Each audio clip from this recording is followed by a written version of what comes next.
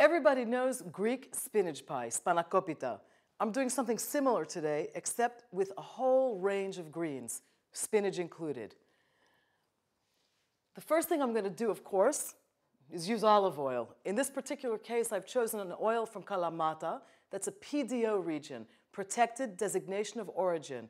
This oil has a really beautiful peppery aftertaste, but also something fresh and green about it. It might seem strange that I'm using a wok to cook my very Greek greens pie, but actually the wok has two advantages. It lets me use a lot less oil, and it also fits a lot more than most frying pans. The first thing I'm going to do is saute my leeks, my scallions, and my onions.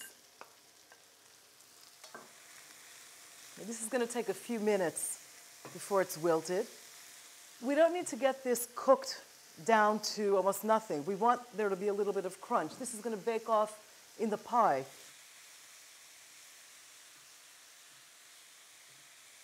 I'm just going to empty them right into the mixing bowl.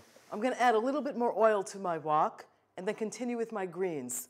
Swiss chard and some fresh spinach. As you can see, the greens are very coarsely chopped.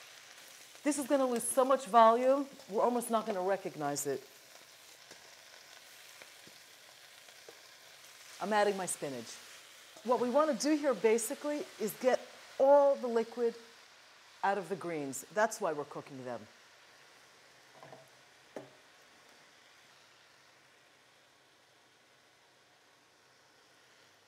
This is exactly what we want.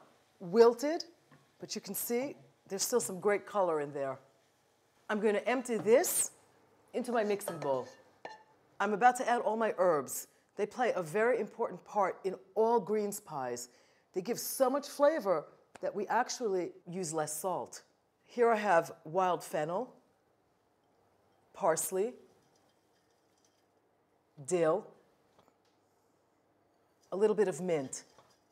The one thing we definitely don't want is to put a very hot filling between layers of phyllo. We'll never get a crisp greens pie that way. I'm going to let it cool.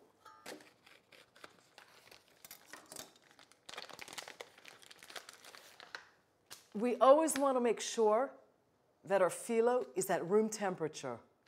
A little trick, we fold the phyllo like a book and we open it backwards, page by page. And we brush it with olive oil. Doesn't need to be slathered in oil. You really just want to wet it a little bit. I want six sheets for the bottom of my pan.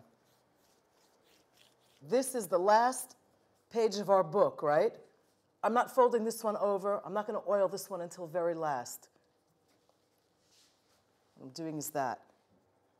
And going to the other side.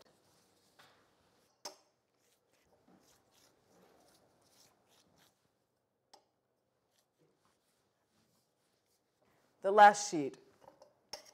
This one gets oiled in full. I'm going to add a little bit of olive oil to my pan.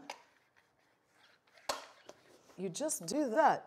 I've just placed the phyllo in the pan. It'll fall into place with the weight of the actual filling. I have to taste my filling for salt. If our filling is too wet, we can add a little bit of semolina flour, a handful of bulgur, anything that will absorb the moisture as the green pie bakes in the oven. I always add a little bit of olive oil to my filling. I'm going to add this right to my pie. I'm spreading it out so that it, it falls into place evenly. Now we have to get to the next step, which is just covering the pie. I use four sheets of phyllo to do this. What we want to do is press it down a little bit. We take the top and bottom layers of phyllo. And we make a decorative rim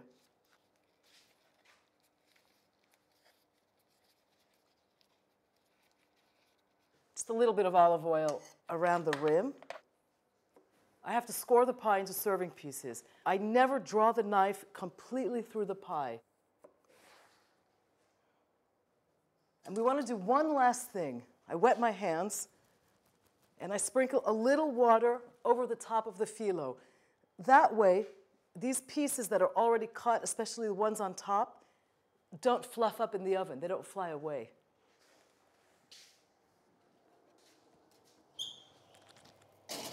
Three sixty Fahrenheit for about 45 to 50 minutes.